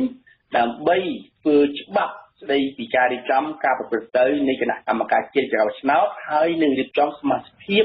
គណៈកម្មការជាតិនៃកម្មការបោះឆ្នោតថ្មីហើយលទ្ធផលនៃការចូលសភានឹងឯងដែលធ្វើឲ្យលទ្ធផលឆ្នោតនៃការបោះឆ្នោតឃុំរបស់យើងធ្វើបានជោគជ័យលទ្ធផលនៃការបោះឆ្នោតឃុំជោគជ័យនេះឯងដែលធ្វើឲ្យគូប្រកួតគូប្រកួតគឺគេព្រួយបារម្ភគេភ័យព្រួយចឹងហើយបានគេត្រូវប្រើវិធី គ្រប់ដូចយ៉ាងដើម្បីការពារអំណាចដើម្បីទប់ទល់អំណាចវិបត្តិអំណាចនឹងបានវិឈានដល់ដំណាក់កាលដូចបច្ចុប្បន្ននេះបាទបាទអរគុណខ្ញុំថាសំណួរចុងក្រោយប៉ុន្តែពិតនៅមានសំណួរចុងក្រោយមួយទៀតក្រោយបំផុតមួយទៀតអាដាមអេងឆៃអៀងតើអាចមានលទ្ធភាពថាមានលោកនាយករដ្ឋមន្ត្រីហ៊ុនសែននឹងអាចទិញ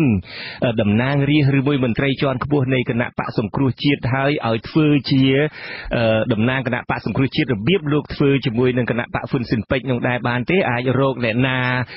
ពីខាងគណៈបកមន្ត្រីរបស់គណៈបកសង្គ្រោះជាតិនឹងដើម្បីឲ្យមកតំណាងគណៈបកសង្គ្រោះជាតិក៏ប៉ុន្តែនៅក្រោមការគ្រប់គ្រងរបស់លោកនាយករដ្ឋមន្ត្រីហ៊ុនសែនអាចទៅរួចទេតំណាងរាស្ត្រគណៈបកសង្គ្រោះជាតិមន្ត្រីជាន់ខ្ពស់គណៈបកសង្គ្រោះជាតិអាចមានអ្នកខ្លះលក់ខ្លួនទេ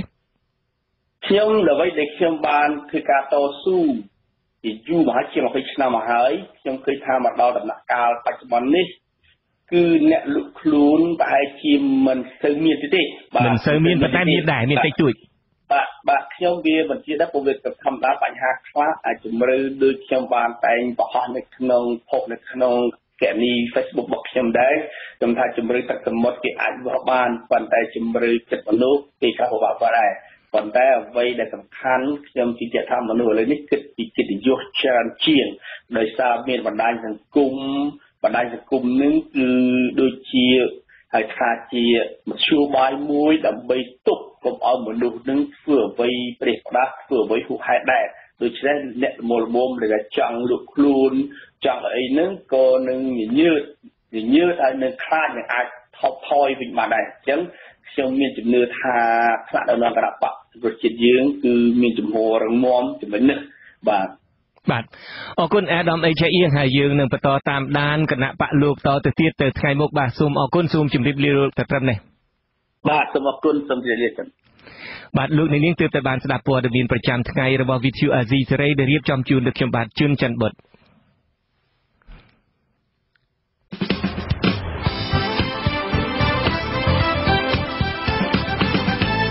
បាទជាបន្តទៅទៀតនេះគឺជានីតិវេទិកាអ្នកស្ដាប់ VTV Asia សេរី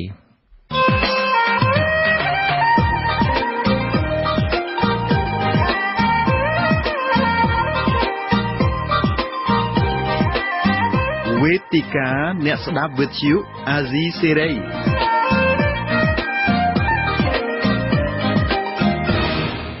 បាទខ្ញុំបាទជួនចាត់វត្តស៊ូមជម្រាបសួរលោកអ្នកនាងកញ្ញាជាថ្មីម្ដងទៀតជាបន្តទៅទៀតនេះខ្ញុំបាទនឹងមាន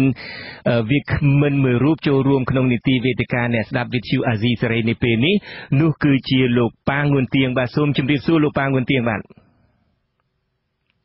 អឡូបាទ ហៅលោកជំរាបសួរលោកជុនតាំងបុតបាទបាទលោកប៉ាងវិនទៀង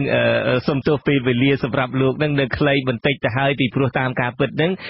លោកនឹងខ្ញុំត្រៀមថាជាវាគ្មិនតែមួយរូបទេសម្រាប់កម្មវិធីផ្សាយនាពេលនេះក៏ប៉ុន្តែយើងតាក់ទងលោកមិនបានសោះម្ល៉េះហើយយើងក៏រៀបចំកម្មវិធីផ្សេងទៅដើម្បីជាការត្រៀមក៏ប៉ុន្តែយ៉ាងណាក៏ដោយចុះយើងនៅមានពេលជាង10នាទីទៀតនេះសំណួរទី1របស់ខ្ញុំបាទលោកបានជ្រាបហើយថាមកដល់ពេលនេះយើងបានសម្ភាសលោកកែមរិទ្ធិសិទ្ធដែលជាប្អូនប្រុសបង្កើតរបស់លោកកែមលីពីម្សិលមិញលោកថាការពិតនឹងទាំងលោកប៉ាងុនទៀងទាំងលោកមឿនដុល្លារទាំងបដិជគុណបុត្រប៊ុនទិញដែលជាអតីតគណៈកម្មាធិការរៀបចំបុណ្យសពរបស់លោកបណ្ឌិតកែមលីនឹងលោកបញ្ជាក់ថាមិនមានប៉ះពាល់រឿងលុយកាក់អីទេពីព្រោះថាលោកកែមរិទ្ធិសិទ្ធនឹងក៏កែមរិទ្ធិសិទ្ធនឹងក៏ជាសមាជិកមួយរូបនៅក្នុងគណៈកម្មការនឹងដែរគាត់ក៏បានបន្ថែមទៀតថាការពិតនឹងគឺគាត់នឹងក៏មិនគ្រប់គ្រងចំពោះការបដិងផ្ដាល់ពីសំណាក់ប្រធានគណៈបកយុវជនខ្មែរលោកពេជ្រស្រស់នោះដែរបើសិនជាមានរឿងបែបនឹង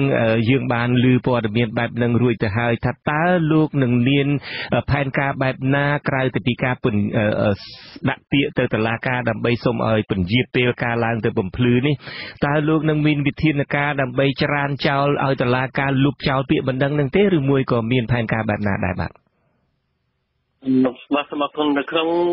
បញ្ហាហ្នឹងខាងខ្ញុំបានអឺអឺបានបានបានទើបតែទទួលបានមេធាវីហើយមេធាវីបានដាក់ពជាពេលដោយបងប្អូនបានជ្រាបស្រាប់អញ្ចឹងហើយ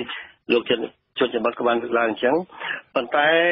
ករណីបន្តនោះគឺខាងមេធាវីរបស់ខ្ញុំនោះក៏កំពុងសិក្សាតើយើងនឹងតតាំងជាមួយតុលាការតាមវិធីណាហ្នឹងយើងកំពុងធ្វើការសិក្សាតាមផ្លូវច្បាប់ដល់ហើយប៉ុន្តែជាបឋមនេះការសិក្សាតាមផ្លូវច្បាប់បានបង្ហាញថា ការដាក់ពាក្យប្តឹងរបស់លោកពេជ្រសោះចំពោះពួកខ្ញុំជាអតីតគណៈកម្មការបនសពលំកែមលីហ្នឹងវាពុំមានមូលដ្ឋានច្បាប់ត្រឹមត្រូវនៅក្នុងតំណាងជាដើមបណ្ដឹងទេហើយទី1យ៉ាងដូចនេះហើយទី2ដោយលោកជនចាំបាត់បានលើកឡើងអញ្ចឹងគឺមានការបញ្ជាក់ពីអឺក្រុមគូសានៃលោកបណ្ឌិតកែមលីទៀតគឺថាគណៈកម្មការ បនសពនោះគឺពុំមានពាក់ព័ន្ធទៅនឹងការគ្រប់គ្រងសហការទេដូច្នេះអានឹងវាជាមូលដ្ឋានសំខាន់មួយទៀតដែលអាចគួបផ្សំទៅនឹងច្បាប់ដែលយើងអាចនឹងការពារសិទ្ធិនិងភាពបរិសុទ្ធរបស់យើងបាទបាទប៉ុន្តែយ៉ាងណាក៏ដោយចុះលោកមានឆ្ងល់ទេបើសិនជាគ្មានមូលដ្ឋានច្បាប់ខ្ញុំជឿថាតុលាការក៏ប្រហែលជាដឹងរឿងនឹងរួចទៅហើយតែគ្មានមូលដ្ឋានច្បាប់ណាក៏ប៉ុន្តែតុលាការនៅតែធ្វើអ្វីដែលដែលគេធ្វើតើ អត្តពលអីដែលឲ្យមានសាច់រឿងនេះកើតឡើងខ្ញុំមើលវាបញ្ហានៅក្នុងប្រទេសកម្ពុជាយើងឃើញក្នុងពេលកន្លងមកថ្មីៗនេះ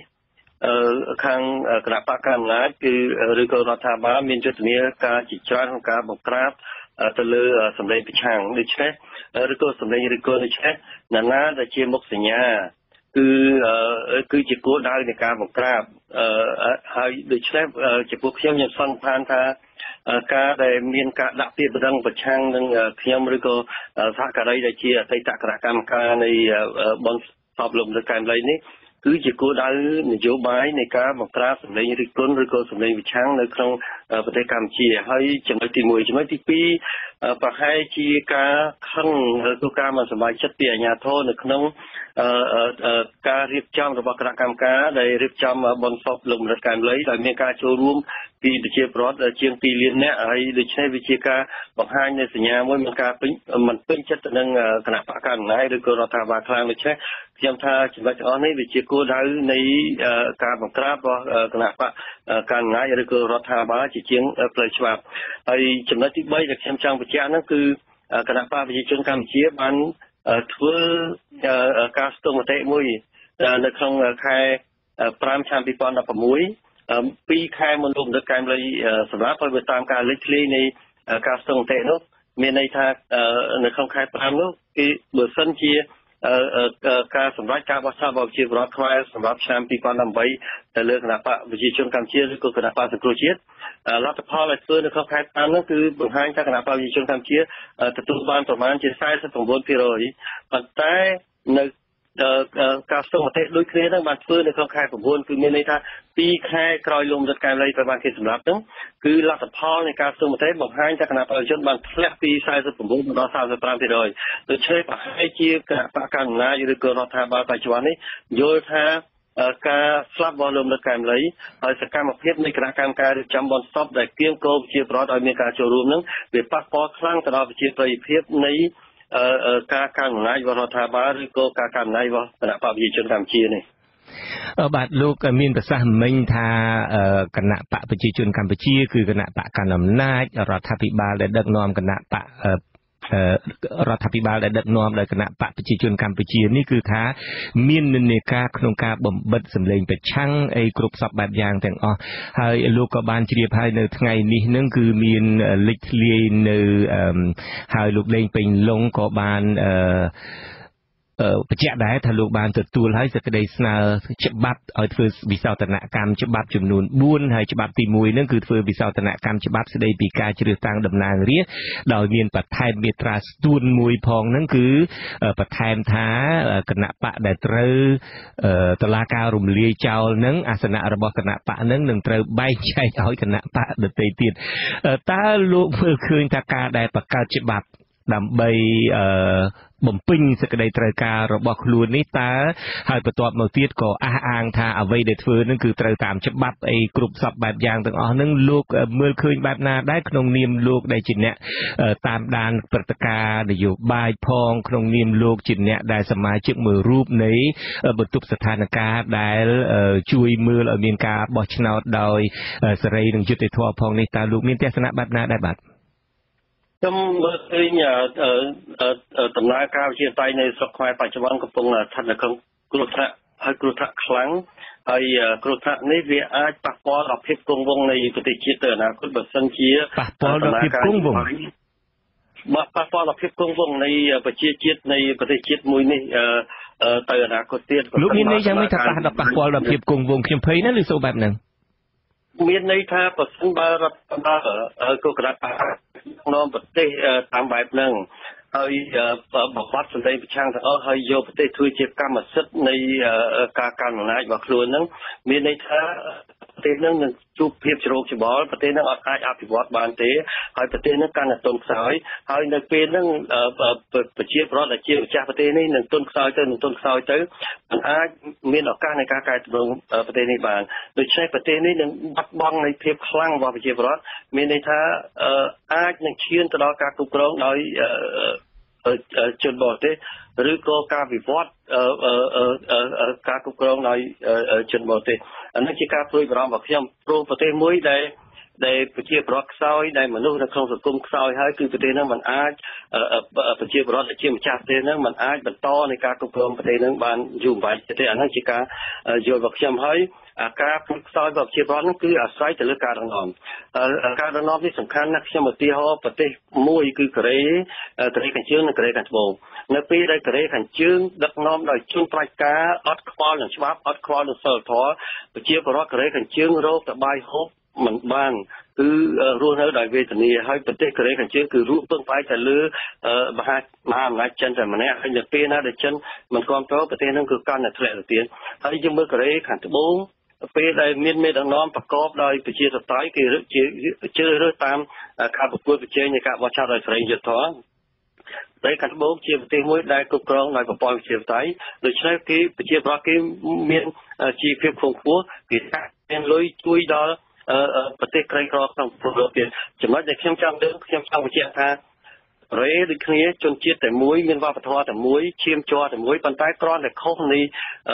ប្រភេទនៃអ្នកដឹកនាំគំនិតនៃអ្នកដឹកនាំឬក៏ប្រព័ន្ធដឹកនាំគឺវាធ្វើឲ្យប្រទេសមួយខ្លាំងប្រទេសមួយខ្សោយហើយប្រទេសដែលខ្សោយហើយប្រទេសហ្នឹងមិនយូរមិនឆាប់នឹងប្រឈមនឹងការ បាត់បង់អានោះជាការទស្សទីអំពីអនាគតនៃប្រទេសយើងមានការបរិយាប៉ុន្តែខ្ញុំថាវាវាកាន់តែបង្កនៅភាពគ្រោះថ្នាក់សម្រាប់អនាគតហើយខ្ញុំមើលឃើញអញ្ចឹងដោយសាររបៀបដឹកនាំសពថ្ងៃនេះលែងខ្វល់ទៅនឹងគោលការណ៍ច្បាប់លែងខ្វល់នឹងរដ្ឋធម្មនុញ្ញលែងខ្វល់នឹងច្បាប់ដែលមានស្រាប់គឺកែសាច់ចិត្តទី1អញ្ចឹងទី2លែងខ្វល់ទៅនឹងសិលធម៌ ភាពទទួលខុសត្រូវហើយលែងខ្វល់ទៅនឹងអ្វីដែលជាឆន្ទៈរបស់ប្រជាពលរដ្ឋចំណុចទាំងអស់ហ្នឹងហើយដែលជាជាការបង្កគ្រោះភ័យកាន់កាន់តែខ្លាំងដល់ប្រទេសជាតិវាបើសិនជាអំណាចបែបហ្នឹងកាន់តែកាន់តែបន្តទៅយូរទៅយូរទៅវាធ្វើឲ្យប្រទេសហ្នឹងកាន់តែខ្សោយទៅខ្សោយទៅហើយវាអាចជារកដល់ការបាត់បង់ឬក៏លើពេលដែលប្រជាពលរដ្ឋនៅក្នុងប្រទេសហ្នឹងគាត់តមិនបានគាត់មិនព្រមទទួលនៅ និន្នាការបែបហ្នឹងវាអាចមានការងើបឡើងបះបោរវាទៅជាចលាចលក្នុងស្រុកដូច្នេះវិធីមួយណាក៏ជាគ្រោះថ្នាក់ចំពោះប្រទេសជាតិដែរហើយសប្តាហ៍ថ្ងៃនេះខ្ញុំថាយន្តការដែលប្រជាបតៃទាំងឡាយនៅក្នុងប្រទេសត្រូវបានបំផ្លាញត្រូវបានរដ្ឋបတ်ទាំងស្រុងប៉ុន្តែខ្ញុំឃើញយន្តការនៅតែមួយទេ ខ្ញុំមិនមែនជាគណៈបព្វប្រឆាំងទេប៉ុន្តែការសង្កេតរបស់ខ្ញុំខ្ញុំឃើញនៅតែគណៈបព្វសង្គ្រោះជាតិមួយទេដែលជាយន្តការមួយដែលអាចតតាំងជាមួយនឹងគណៈបកកណ្ដាលដែលអាចនៅតំណាងនៃសម្លេងដ៏ធំរបស់ប្រជាពលរដ្ឋប៉ុន្តែសំខាន់ត្រូវការភាពខ្លាំងនៃភាពជាអ្នកដឹកនាំរបស់គណៈបកសង្គ្រោះជាតិខ្ញុំឃើញពេលបច្ចុប្បន្ននេះនៅពេលដែលប្រធានខ្លួនត្រូវបានចាក់ខ្លួនសមាជិកសភាខ្លះដែលអត់មានបញ្ហាដែលមិនដែលមានចេញមុខធ្វើសកម្មភាពជាចំហសោះគោលនាំនេះរត់ចោល ប្រទេសដែរហើយអាការរត់ចោលនេះមានន័យពីរបីចំណុចដែលខ្ញុំចង់បញ្ជាក់ចំណុចទី1មានន័យថាបោះបង់ប្រធានខ្លួនឯងចោលនៅពេលគ្រាគ្រាមានអសន្នឬក៏ចំណុចទី2មានន័យថាគ្រប់គ្រងទៅនឹងចំណាត់ការនៃការចាត់ប្រធានខ្លួនឯងចំណុចទី3មានន័យថាបោះបង់ទីលានប្រយុទ្ធទីលានប្រយុទ្ធរបស់យើងគឺនៅក្នុងប្រទេសនៅក្នុងការកសាងទំនុកចិត្តប្រជាពលរដ្ឋហើយយើងបោះបង់ទីលានប្រយុទ្ធហើយយើងយកហេតុផលថាយើងមកក្រៅដើម្បី មានសេរីភាពក្នុងការតស៊ូទេអញ្ចឹងមានន័យថាម៉េចមានន័យថាយើងបន្ទោសសហការីយើងដែលកំពុងធ្វើការនៅក្នុងឬមួយក៏យ៉ាងម៉េចហើយខ្ញុំខ្ញុំទទួលស្គាល់អ្នកដឹកនាំខ្លះឬក៏សមាជិកសភាខ្លះដែលគាត់មានបញ្ហាគាត់គួរតែដកគ្នាមកក្រៅគាត់ដកគ្នាមកក្រៅប៉ុន្តែមិនមែនដកគ្នាមកក្រៅដើរកំសាន្តឬក៏នៅស្ងៀមទេគឺដកគ្នាមកក្រៅហ្នឹងគឺចាប់ផ្ដើមរៀបចំប្រជុំហើយឥឡូវនេះសម័យទំនើបគេអាចរៀបចំប្រជុំតាមរយៈអនឡាញឬក៏ teleconference អញ្ចឹងគឺ គេប្រជុំគេសម្រេចចំហមួយច្បាស់លាស់ឬក៏ដឹកនាំរចនាសម្ព័ន្ធនៅខាងក្រៅប្រទេសនេះប្រជុំដើម្បីសម្រេចអំពីផែនការពីគោលដៅអំពីជំរឿសដែលត្រូវដែរហើយខ្ញុំបំបញ្ញវិញខ្ញុំបានស្ដាប់អាដាមសុនឆៃថាអឺគណៈបក្សប្រជាអាដាមសុនឆៃនិយាយមុនទៅគាត់និយាយអំពីគណៈបក្សសង្គ្រោះជាតិពិចារណាអំពីចំហនៃការផ្លាស់ប្ដូរមេដឹកនាំប្រាប់ដល់លោកកឹមសុខានៅពេលដែលមានការកាត់ទោសចំពោះខ្ញុំខ្ញុំថានេះមិនមែនជាសម្ដីយុទ្ធសាស្ត្រទេ បើបើបើជាយុទ្ធសាស្ត្រនៃភាពជាអ្នកដឹកនាំគេអត់និយាយចឹងទេទោះបីមានការសម្រេចជាផ្ទៃក្នុងក៏ដោយក៏អត់ត្រូវនិយាយបែបហ្នឹងមកក្រៅដែរគឺចំហគណៈបក្សសង្គ្រោះជាតិបច្ចុប្បន្ននេះចំហវឌ្ឍនៈបច្ចុប្បន្ននេះគួរតែជាចំហរឹងមាំមួយថាអាស្រ័យតែខ្លួនឯងច្បាស់ច្បាស់លាស់ឧទាហរណ៍ថាទីមួយបើបើ មានលោកកឹមសុខាជាប្រធានទើបយើងចូលរួមបោះឆ្នោតបើអត់មានលោកកឹមសុខាជាប្រធានទេយើងនៅអត់ចូលរួមបោះឆ្នោតទេបើយើងមានចំហចាស់លាស់បែបហ្នឹងគឺងាយស្រួលនៅក្នុងការតស៊ូមតិជាមួយសហអន្តរជាតិឥឡូវបើយើងបើចំហយើងយើងរត់តាមគណៈបកកណ្ដាលតើយើងចង់ឲ្យសហគមន៍អន្តរជាតិជួយយើងរបៀបម៉េចឧទាហរណ៍មកសហគមន៍អន្តរជាតិគេថានៅពេលដែលអត់មានការដោះលែងលោកកឹមសុខាគេនឹងអត់ទទួលស្គាល់ដំណើរការការបោះឆ្នោតឧទាហរណ៍ ហើយហើយទៅពេលបើសិនជាគណៈបព្វឆាំងថាអូខេបើបើគេអត់មានការដោះលែងលោកកឹមសុខាគេកាត់ទោសលោកកឹមសុខាអញ្ចឹងនឹងរើសប្រធានថ្មីអញ្ចឹងមានន័យថាម៉េចមានន័យថារត់តាមអ្វីដែលគណៈបកកណ្ដាលអំណាចចង់បានរហូតហើយចំណុចហ្នឹងដែលអ្នកគ្រប់គ្រងតាមសហគមន៍អន្តរជាតិតាមសាធារណជនខ្មែរយើងថាពិបាកនឹងអឺអឺគ្រប់គ្រងដោយសារតែ ចំហថានាំអត់ចោលហើយយើងរត់តាមនៅអ្វីដែលគណៈបកកម្មាណាចង់បានអានេះជាការយល់ឃើញរបស់ខ្ញុំពីពីខាងក្រៅគណៈបកបាទបាទតើការយល់ឃើញរបស់យើងអាចរឿងផ្សេងឬមួយក៏អាចនេះគឺជាយុទ្ធសាស្ត្រនយោបាយរបស់គណៈបកសង្គ្រោះជាតិក៏យើងមិនអាចថាបានដែរតកតងនៅក្នុងការយល់នេះអឺលោកនាយករដ្ឋមន្ត្រីហ៊ុនសែនខំពន្យល់ណាលោកប៉ាងួនទៀង ងាកទៅរឿងស្ថានភាពប្រទេសជាតិទូទៅវិញលោកនាយករដ្ឋមន្ត្រីខុនសែនខំពន្យល់ណាថាអ្វីដែលលោកកំពុងធ្វើនេះគឺធ្វើដើម្បីស្ថិរភាពនយោបាយធ្វើដើម្បីការពារសមិទ្ធផលដែលលោកបានកសាងមកលោកធ្វើនេះដើម្បីកសាងសន្តិភាពបើទុកជាលោកត្រូវការសម្លាប់មនុស្ស100ឬ200នាក់ក៏លោកមិនញញើតដែរដើម្បីរក្សាឲ្យមានស្ថិរភាពរក្សាឲ្យមានសន្តិភាពហេតុអីក៏លោកប៉ាងួនទៀងនៅតែមិនយល់ឲ្យថាអ្វីនេះអាចធ្វើឲ្យប្រទេសជាតិចលាចលទៅវិញ អ្វីដែលលោកសានកំពុងបញ្យល់ចំពោះខ្ញុំខ្ញុំថាអ្វីដែលគាត់កំពុងបញ្យល់ហ្នឹងគឺមានន័យថាគាត់កំពុងតែបារម្ភបើគាត់អត់បារម្ភគាត់អត់យករឿងហ្នឹងទៅបញ្យល់ច្រើនទេអញ្ចឹងការបញ្យល់របស់គាត់ហ្នឹងគឺគាត់ព្យាយាមចំណាយពេលច្រើនដើម្បីឲ្យគេយល់ថាអាស័យអាស័យឲ្យគាត់ធ្វើហ្នឹងត្រូវហើយចំពោះខ្ញុំខ្ញុំថាដោយសារការធ្វើហ្នឹងខុសគេមិនប្រវាក់ជឿទៅគាត់ខំបញ្យល់ច្រើនចំណុចទី1ចំណុចទី2 ខ្ញុំថាគណៈបកសង្គ្រោះជាតិគោលយល់អំពីចំណុចខ្លាំងរបស់ខ្លួនគួរតែយល់ពីចំណុចខ្លាំងរបស់ខ្លួនខ្ញុំថាគណៈបកកណ្ដាលអំណាចត្រូវការភាពសំខាន់មួយគឺ legitimacy ភាពស្របច្បាប់នៃការកណ្ដាលអំណាចរបស់ខ្លួន បាទឧទាហរណ៍នៃការ2014ចឹងពេលដែលគៀងគោឬក៏ដាក់សម្ពាធឬក៏ខំចរចាគ្រប់យ៉ាងមួយគណៈបកសង្គ្រោះជាតិហ្នឹងដើម្បីឲ្យគណៈបកសង្គ្រោះជាតិចូលទៅក្នុងសភាដើម្បីឲ្យខ្លួនក្លាយជារដ្ឋាភិបាលស្របច្បាប់ព្រោះបើសិនជាមិនក្លាយជារដ្ឋាភិបាលស្របច្បាប់ទេគណៈបកប្រឆាំងអាចជ័យស្វែងរការមួយថាឥឡូវយើងទោះបីធ្វើអីគណៈបកកណ្ដាលអំណាចកើតគណៈបកកណ្ដាលអំណាចជាដឹកនាំទេប៉ុន្តែដឹកនាំដោយខុសច្បាប់បែបហ្នឹងក៏ដោយប៉ុន្តែបើសិនជាគណៈបកប្រឆាំងប្រកាសនៅចំហរបស់ខ្លួនថា អត់ទទួលស្គាល់រាល់នៅកម្ចីឬក៏កិច្ចព្រមព្រៀងវិនិយោគទុនឬក៏កម្ចីទាំងឡាយណានៅក្នុងអំឡុងពេលដែលរដ្ឋាភិបាលមិនស្គាល់ចាប់ដឹកនាំអាហ្នឹងគណៈបព្វជិជនពិបាកដែរគណៈបកកណ្ដាលអំណាចពិបាកដែរព្រោះវាពិបាកនឹងបញ្ចុះបញ្ចូលជ័យលុយទេក៏បញ្ចុះបញ្ចូលឲ្យមានការសហការជាការវិនិយោគទុនហើយចំណុចមួយទៀតដែលជាចំណុចខ្លាំងយ៉ាងខ្លីយើងអស់ពេលអាលីងឲ្យលោកប៉ាងគុនទៀងបាទ រដ្ឋធម្មនុញ្ញគឺចែងអំពីពហុបកហើយដូច្នេះគណៈបកសង្គ្រោះជាតិមិនគួរភ័យពីការរំលាយទេព្រោះរំលាយសង្គ្រោះជាតិមានន័យថាលែងមានពហុបកនៅក្នុងប្រទេសពហុបកមានន័យថាពហុសម្លេងមិនមែនចំនួនគណៈបកទេគឺបីចំនួនអរគុណលោកគុនទៀងយើងអស់ម៉ោងតែត្រឹមនេះហើយសូមស្ដាយណាស់ហើយខ្ញុំបាទសូមអរគុណលោកគុនទៀងដែលបានចូលរួមក្នុងកម្មវិធីផ្សាយរបស់យើងបាទកម្មវិធីផ្សាយរបស់វិទ្យុអាស៊ីសេរីសម្រាប់រាត្រីថ្ងៃអង្គារនេះចប់ទៅត្រឹមនេះខ្ញុំបាទសូមអរគុណនិងសូមជម្រាបលារាត្រីសួស្ដី thank you